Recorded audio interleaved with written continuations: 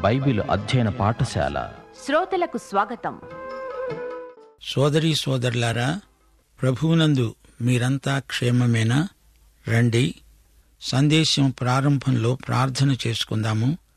దేవా పరమతండ్రి దినదినము మీ వాక్య శ్రవణమందు మాకు పరలోకపు మన్నాను వడ్డించి మా ఆత్మలకు తృప్తి కలిగిస్తున్నావు. నీకెంతో కృతజ్ఞులం. ఈ రోజున కూడా వాక్యమనే ఇష్టమృష్టాన్నం మాకు అనుగ్రహించి సకలార్థ సాధకమైన బైబిల్ పఠనాసక్తిని మాకు కలిగించి తృప్తి దయచేయమని మా ప్రియ శ్రోతలను ఆయురారోగ్యములతో ఆశీర్వదించమని యేసుక్రీస్తు వారి శుభనామమున ప్రార్థిస్తున్నాం తండ్రి. ఆమెన్. సోదరీ సోదరులారా వినండి. పద్నాలుగో అధ్యాయంలో బైబిలులో ప్రథమ యుద్ధం రాయబడి ఉంది. ఇందులో అబ్రాము లోతును కాపాడి శత్రువుల బారి నుండి లోతును విడుదల చేస్తాడు. బైబిలులో మొదటి యాజకుడు ఈ అధ్యాయంలో మనకు కనిపిస్తాడు. అతడే మెల్కిసెదకు. అతడు వచ్చి అబ్రామును ఆశీర్వదిస్తాడు. అందుకే ఈ అధ్యాయం ఎంతో ముఖ్యమైనది అని చెబుతున్నాను. అకస్మాత్తుగా ఈ యాజకుడు కనిపించటం అసందర్భమేమీ కాదు. ఇప్పుడు వివరాలు వినండి. షీనారు రాజైన అమ్రాపేలు ఎల్లాసరు రాజైన అర్యోకు ఏలాము రాజైన కదుర్లాయోమెరు గోయీయుల రాజైన తిదాలు అనేవారి రోజుల్లో వారు సొదము రాజైన బెరాతో గుమర్రా రాజైన బిర్షాతో అద్మా రాజైన షినాబుతో సెబోయీయుల రాజైన షెమేలెకుతో సోయరు అనే బెలరాజుతో యుద్ధం చేశారు. సోదరీ సోదరులారా ఇది చరిత్రాత్మకమైన ఉదంతం. తూర్పు నుంచి వచ్చిన రాజులు సుధమగుమర్రా రాజులను యుద్ధంలో ఓడించారు. ఈ యుద్ధం జరిగినట్లు సమకాలీన చరిత్రలో దాఖలా కనపడుతూ ఉంది.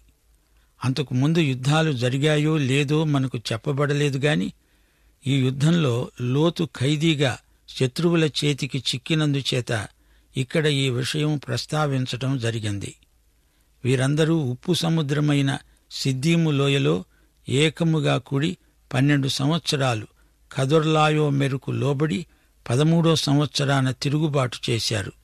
గనుకనే యుద్ధం ప్రకటించటం జరిగింది. తూర్పు రాజ్యాలకు సుధముగుమర్రా రాజులు సామంతులు. వీరి తిరుగుబాటును అణచటానికి యుద్ధం చేశారు. మృత సముద్రానికి దిగువన ఉన్న మైదానం మందున్న ఈ రాజులను తూర్పు రాజులు గెలిచారు. అబ్రాము సోదరుని కుమారుడైన లోతు సొదములో కాపురమున్నాడు. గనుక అతణ్ణి అతని ఆస్తిని కూడా పట్టుకొని పోయారు. శత్రువు చేతిలో యుద్ధ ఖైదీ అయ్యాడు లోతు. పన్నెండో వచనం. సుధము గుమ్మర్రా రాజులు సిద్దీము లోయలో పడిపోయారు. శేషించిన వారు కొండలలోకి పారిపోయారు.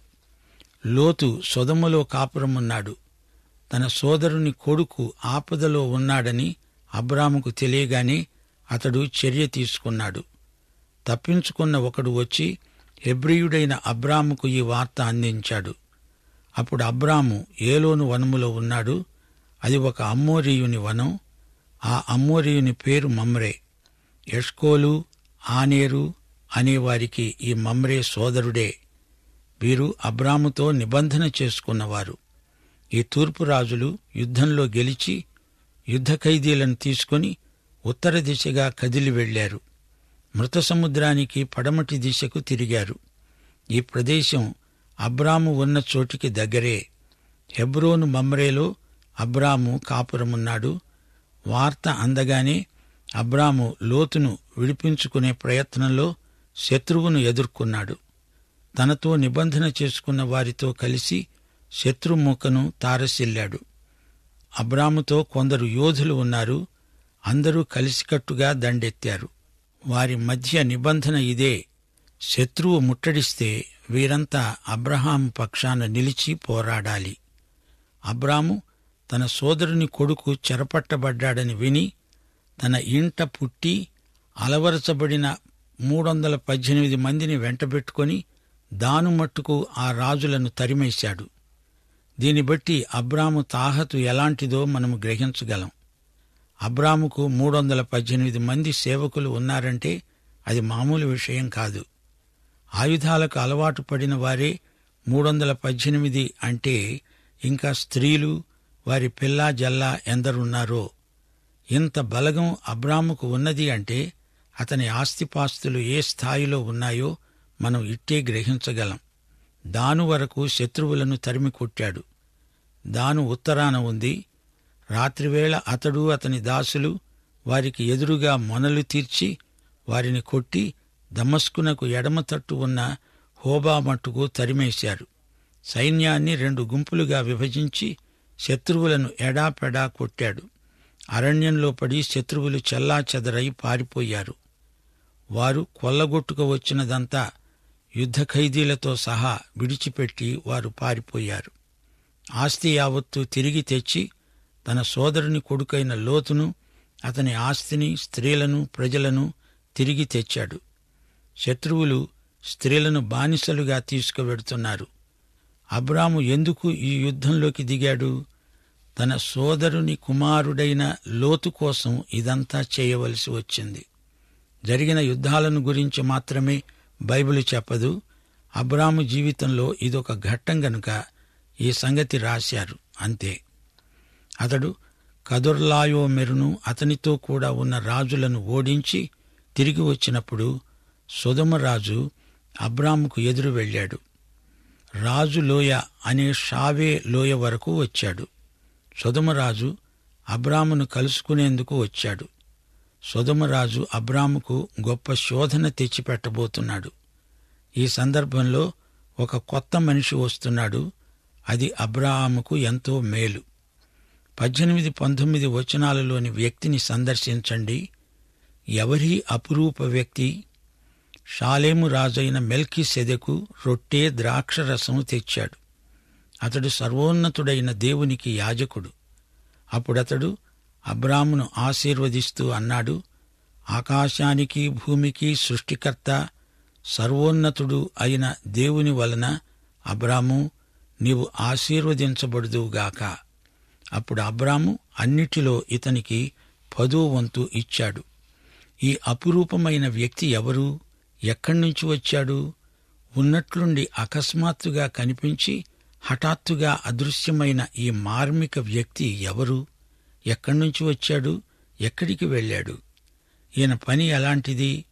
రొట్టె ద్రాక్షరసం అందించి ఆ పలాన అదృశ్యుడైపోయాడేమిటి? అతడు షాలేము రాజు సర్వోన్నత దేవుని యాజకుడు. అది సరే ఈయనకు సర్వోన్నత దేవుడు ఎలా తెలుసు? ఏల్ ఎలోహిం సర్వోన్నతుడు అని యహోవాను గురించి ఈయనకు ఎలా తెలుసు? భూమ్యాకాశములను సృజించిన సజీవ దేవుడు ఆదికాండం మొదటి అధ్యాయంలోని దేవుడు. నోవహుకు హనోకుకు ఆయనే దేవుడు. దేవుళ్ళలో ఒకడు కాడు ఏకైక దేవుడు. ఆయనేమి ఒకానొక స్థానిక దేవుడు కాడు దేవుడు ఒక్కడే. ఏకదేవ ప్రత్యక్షం మొదటిది. మానవుని పతనానంతరం బహుదేవ భావన మొదలైంది. రాను రాను రోమాపత్రిక మొదటి అధ్యాయం ఇరవై ఒకటో వచనంలో చెప్పబడిన రీతిగా వారు దేవుని ఎరిగి ఉండి కూడా ఆయనను దేవునిగా మహిమపరచలేదు. కృతజ్ఞతాస్థుతులు అర్పించనులేదు గాని తమ వాదములయందు వ్యర్థులైపోయారు. సృష్టికర్తను మరచి సృష్టమును పూజించారు. ఇదో విచిత్ర సంఘటన. అబ్రాము కాలంలోనే లోకం మొత్తానికి ఒకే ఒక యాజకుడు మనకు పరిచయమవుతున్నాడు. సత్య సజీవ దేవుని ప్రత్యక్షం ఇతనికి ఉంది. సజీవ సత్యదేవునికి అతడు యాజకుడు. అబ్రాముకు ప్రభురాత్రి భోజన సంస్కారాన్ని ఇస్తున్నాడు. మెల్కీసెదకు జ్ఞానం ఎంతో విస్తృతమైంది. అతడు పరమార్థ జ్ఞాని. మెల్కీసెదకు పేరు బైబిలులో మూడుసార్లు వస్తుంది. ఆదికాండంలో ఒకసారి రెండోసారి కీర్తనల గ్రంథం నూట పదో కీర్తన నాలుగో వచనం. మెల్కీ సెదకు క్రమము చొప్పున నీవు నిరంతరము యాజకుడవై ఉందువని యహోవా ప్రమాణము చేసి ఉన్నాడు.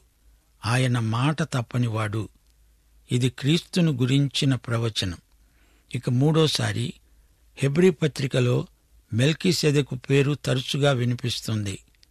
అయితే ఆదికాండములోని మెల్కిసెదకు వృత్తాంతాన్ని హెబ్రీ పత్రికలో పేర్కొనలేదు. అసలు ఆదికాండం కుటుంబాల గ్రంథం వంశవృక్షాల గ్రంథం గదా? ఆదికాండంలో ఏ వ్యక్తి పేరు చెప్పినా అతని తండ్రి పేరు గోత్రం పేరు తప్పకుండా పేర్కొనబడుతుంది. మరెందుకో మెల్కి సెదకు పుట్టు పూర్వోత్తరాలు బైబిలులో ఎక్కడా కనపడవేమిటి? ఆద్యంతములు లేని యేసుక్రీస్తు యాజకత్వానికి మెల్కి సెదకు ముందు గుర్తుగా చూపబడడం విశేషం. యేసుక్రీస్తు సేవ ఆయన చేసిన బలియాగం యేసు మన ప్రధాన యాజకుడై అతి పరిశుద్ధ ప్రదేశంలో ప్రవేశించిన వైనం మెల్కీ సెదుకులో ఛాయామాత్రంగా కనిపిస్తాయి. క్రీస్తు యాజకత్వం అహరోను క్రమమును అనుసరించినది. రాజుగా క్రీస్తు అబ్రహాము దావీదు కుమారుడు. మత్తయి శుభవార్త ఈ విధంగానే క్రీస్తును పరిచయం చేస్తుంది. యోహాను శుభవార్త మొదటి అధ్యాయం ఒకటి పద్నాలుగు వచనాలలో ఆదియందు వాక్యం ఉన్నది. వాక్యము దేవుని వద్ద ఉంది. వాక్యము దేవుడై ఉంది. ఆ వాక్యము శరీరధారి అయి కృపాసత్య సంపూర్ణుడుగా మన మధ్య నివసించింది. తండ్రి వలన కలిగిన అద్వితీయ కుమారుని మహిమ వలె మనము ఆయన మహిమను కనుగొన్నాము. ఆయన నిత్య దేవుడు. ఆయన ఆల్ఫా ఒమేగా. సృష్టి దృష్ట్యా ఆయన ఆదికి అంతానికి అతీతుడు. పరలోక మహిమ నుండి వచ్చాడు. వాక్యం శరీరం ధరించింది. మనము ఆయన మహిమను చూచాము. మెల్కీ సెదెకులో మనం ప్రభుయేసు చిత్రపటాన్ని తేటగా చూడగలం.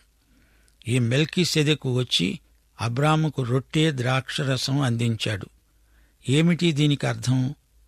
మొదటి కొరింతి పదకొండో అధ్యాయం ఇరవై ఆరో వచనంలో ప్రభువు రాత్రి భోజనాన్ని గురించి మాట్లాడుతూ పౌలు అన్నాడు మీరు ఈ రొట్టెను తిని ఈ పాత్రలోనిది త్రాగేటప్పుడెల్లా ప్రభువు వచ్చే వరకు ఆయన మరణాన్ని ప్రచురిస్తారు అంటే మెల్కీ సెదకు ముందుగానే యేసుక్రీస్తు మరణాన్ని ప్రచురిస్తున్నాడన్నమాట. అందుకే మెల్కి సెదకు అబ్రామును ఆశీర్వదిస్తున్నాడు. ఆకాశమునకు భూమికి ప్రభు అయిన దేవుడు ఏల్ ఎలోహిం అబ్రామును ఆశీర్వదించునుగాక. అప్పుడు ఆ కాలంలో లోకమంతటికి యాజకుడు మెల్కీ సెదకే ఇప్పుడు లోకమంతటికి ఏకైక ప్రధాన యాజకుడు యేసుక్రీస్తే. అయితే యేసు యాజకత్వం అహరోను క్రమానికి అతీతమైనది. అది మెల్కీ సెదకు క్రమమునకు చెందినది. అహరోను యాజకత్వం ఇష్రాయేలుకు సాక్ష్యపు గుడారానికి పరిమితమైనది. క్రీస్తు వ్యక్తిత్వం అహరోను యాజక క్రమానికి చెందిందే. ఇరవయో వచనం.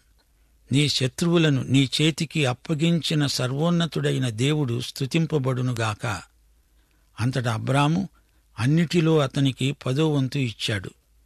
ఆరంభంలోనే అబ్రాము మెల్కీ సెదెకుకు దశమ భాగాలు చెల్లించాడు. దశమ భాగాలు చెల్లించే విధానం అతనికి ఎలా తెలిసింది? దేవుడే స్వయంగా ఈ విషయమై అతనికి ప్రత్యక్షం అనుగ్రహించాడు. ఇంకా అనేక అంశాలు ప్రత్యక్షంలో ఆయనకు తెలిసి ఉంటాయి అనటంలో ఎట్టి సందేహము లేదు. రాజు ఇవ్వజూపుతున్న కానుకలను అబ్రాహాము తిరస్కరించాడు. సుధమరాజు అబ్రాముతో అన్నాడు మనుష్యులను నాకిచ్చి ఆస్తి నీవే తీసుకో. సోదరీ సోదరులారా ఇది గొప్ప శోధన. అలనాటి హమూరబీ శాసనాల ప్రకారం అబ్రాహాముకు విజేతగా మనుషులపైన ఆస్తి అంతటిపైన హక్కు ఉంది. సుధమరాజు తెలివిగా మాట్లాడుతున్నాననుకుంటున్నాడు. మనుషులను నాకివ్వు వస్తువులు నువ్వు తీసుకో. సుధమరాజు ఇచ్చింది అబ్రాము తీసుకుని ఉంటే ఏం జరిగేదో మీరు ఆలోచించగలరా శ్రోతలు? ఎవరైనా అబ్రాహామును దేవుడు ఆశీర్వదించాడు అంటే సుధమరాజు దానికేమనేవాడు? అదేమీ కాదు అదంతా నేనిచ్చిందే దేవుని దీవెనేమీ కాదు. అది అబ్రాముకు తెలుసు కాబట్టే రాజుతో అబ్రామ్ అన్నాడు ఆకాశానికి భూమికి సృష్టికర్త సర్వోన్నతుడు అయిన దేవుడు యహోవా ఎదుట నా చెయ్యి ఎత్తి ప్రమాణము చేసి ఉన్నాను. ఒక్క నూలు పోగైనా చెప్పుల వారైనా నీ వాటిలో ఏదైనా నేను తీసుకోను. నేనే అబ్రహామును ధనవంతునిగా చేశాను అని నీవు చెప్పగలవు. ఇది నాకు వద్దు. అంతకు ముందే మెల్కీ సెదకు ఆశీర్వదించి వెళ్ళాడు. అదే ప్రభావం అబ్రాము తీర్మానం మీద పనిచేసింది. అసలు అబ్రాము మెల్కీ సెదకును కలుసుకోవడం ఎంతో మంచిదయింది. రాబోయే శోధనల నుండి తప్పించుకునే మార్గం కూడా దేవుడు సిద్ధపరిచి ఉంచుతాడు. మొదటి కొరింతి పదో అధ్యాయం పదమూడో వచనం ఏం చెబుతోందో వినండి. సాధారణంగా మనుషులకు కలిగే శోధన తప్ప మరి ఏదీ మీకు సంభవించి ఉండలేదు. దేవుడు నమ్మదగినవాడు. మీరు సహింపగలిగినంతకంటే ఎక్కువగా ఆయన మిమ్ములను శోధింపబడనీయడు. అంతేకాదు సహింపగలుగుటకు ఆయన శోధనతో కూడా తప్పించుకునే మార్గాన్ని కలుగచేస్తాడు. దేవుడు అబ్రాహాముకు శోధన తప్పించుకునే మార్గం కలుగజేశాడు. అబ్రామును ఎవరూ ధనవంతుణ్ణి చేయనక్కర్లేదు. దేవుడు అనుకుంటే దేవుడు చేస్తే అబ్రాము సంపన్నుడు కాగలడు లేకపోతే లేదు అంతే. అబ్రహాము రాజుతో అంటున్నాడు ఈ పడుచువారు భుజించినది తప్ప నాతో కూడా వచ్చిన ఆనేరు యష్కోలు మమ్మరే అనే వారికి ఏ ఏ భాగాలు రావాలో ఆయా భాగాలు మాత్రం వారిని తీసుకొనియ్యి. అంటే ఈ యువకులకు హక్కు ఉంది వారు ఏది తీసుకోవాలో అది తీసుకోవచ్చు తీసుకోమనండి. నాకు అభ్యంతరమేమీ లేదు. నాకు మాత్రం అందులో ఏమీ వద్దు నేను తీసుకోను అంటున్నాడు అబ్రహాం. సోదరీ సోదరులారా అబ్రాహాముకు లోతుకు మధ్య ఎంత వ్యత్యాసముందో చూచారా? హస్తిమశకాంతరం తేడా ఉంది గదూ? లోతు అబ్రహాముతో ఉన్నాడు తిరిగాడు సహవాసం చేశాడు అబ్రాహాము సౌశీల్యాన్ని చూచాడు. అబ్రాహాము ఆధ్యాత్మిక సుగుణాలను స్వయంగా పరిశీలించాడు. సర్వశక్తుని బలిపీఠం ముందు అబ్రహాము ఆరాధిస్తుంటే అంతా చూచాడు పాల్గొన్నాడు. ఇన్ని అవకాశాలున్నా లోతు శరీరానుసారిగానే ఉండిపోయాడు. లోతు ఆధ్యాత్మిక విషయాలను చూచాడే కాని ఎన్నడూ అనుభవించినవాడు కాడు. లోతు అనే మాటకు అర్థం తెర ముసుకు. ఈ పేరు లోతుకు అక్షరాల తగిందే. లోతు లోక సంబంధి లోకాన్ని ప్రేమించిన శరీరానుసారి. దేవుడా లోకమా అంటే లోతు లోకాన్నే కోరుకున్నాడు. అతనికి ఆధ్యాత్మిక విలువలు తెలియవు. లోకం అతణ్ణి మోసగించింది. అతని గాథ విషాదాంతం. దేవుని పక్షంగా నిలిచి ఉన్నతాశయాలతో బతికేవారికి ఉన్నంత నిండుదనం లోతుకు లేదు. అతని ఆధ్యాత్మిక జీవితానికి లోతు అసలే లేదు. అందుకే అబ్రహామును గురించి ఎప్పుడూ జ్ఞాపకం చేసుకుంటాము. అబ్రహాము స్వంత సోదరుని కొడుకే లోతు. అయినా లోతు పరాజితుడు అబ్రాహము విజేత. దేవుడు రెండు మన ముందు ఉంచి వాటిలో ఏదో ఒకటి కోరుకోమంటాడు. అయితే అబ్రాము లోతుకు అవకాశమిచ్చాడు. నీకు ఏ భూమి కావాలో కోరుకో అన్నాడు. లోతు పేరాశాపరుడు సొదమ ప్రాంతాన్ని కోరుకున్నాడు. అబ్రాము నిస్వార్థ వైఖరి అది అతనికి లాభము క్షేమము లోతు వైఖరి నష్టము ప్రమాదము. సోదరుడా సోదరి నీ సౌశీల్యానికి పరీక్ష నీవేది కోరుకుంటావు? ప్రభువు సేవ సంఘ సహవాసము కోరుకుంటే నీకు మంచి సౌశీల్యము ఉన్నట్లు. తాగుడు దొంగతనం అబద్ధం మోసం మనిషి తీర్మానానికి తగిన వ్యాసంగాలు కావు. జీవితంలో బొత్తిగా విలువలేనివి ఎందుకు కోరుకోవాలి? ఫలాన్ని బట్టి చెట్టు ఎలాంటిదో తెలుసుకుంటాము. సుధముకు దగ్గరగా గుడారం వేసుకున్నాడు. నెమ్మదిగా సుధుమ కేంద్రానికి లాగివేయబడ్డాడు. పగటికి రాత్రికి మధ్య సంధ్యావేళ. వెలుగుకు చీకటికి మధ్యరేఖ అలాగే మన జీవితాల్లో కూడా మంచికి చెడుగుకు మధ్యరేఖ ఉంది. సంధ్యా సమయంలో నిలువకూడదు. ఒక్క అడుగు వెంట్రుకంత వాసి అంతే. చీకట్లోకి పూర్తిగా వెళ్ళిపోతాడు మనిషి. లోతు సుధుమకు దగ్గరగా గుడారం వేసుకుని గొప్ప పొరపాటు చేశాడు. సుధుమ అతణ్ణి లోపలికి లాగేసింది. సుధమ పౌరులు పాపంలో బరితెగిన మనుషులు. లోతుకు అదేమీ పట్టలేదు.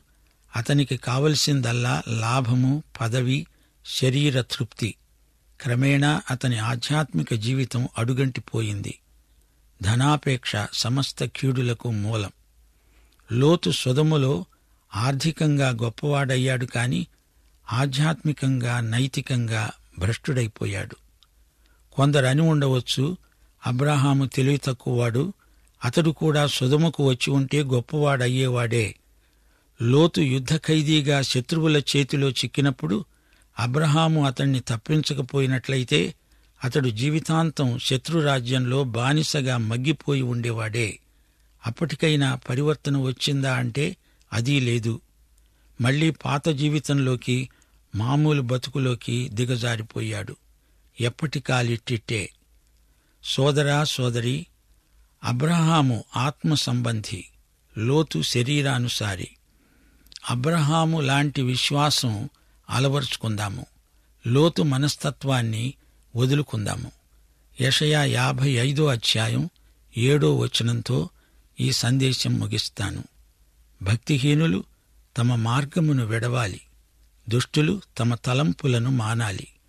వారు దేవుని వైపు తిరిగిన ఎడల వారి యందు ఆయన జాలి పడతాడు వారు మన దేవుని వైపు తిరిగితే ఆయన బహుగా జాలిపడతాడు. దేవుడు మిమ్మను సమృద్ధిగా దీవించునుగాక ప్రార్థన చేసుకుందాం. దేవా తండ్రి నేటి సందేశం మా శ్రోతల హృదయాలలో సంచలనాత్మకమైన గొప్ప మార్పు తేవాలని అందరికీ వ్యాధి బాధల నుండి సైతానీయ దుష్టశక్తుల నుండి విడుదల ప్రసాదించుమని యేసు నామమున ప్రార్థిస్తున్నాము తండ్రి. ఆమెన్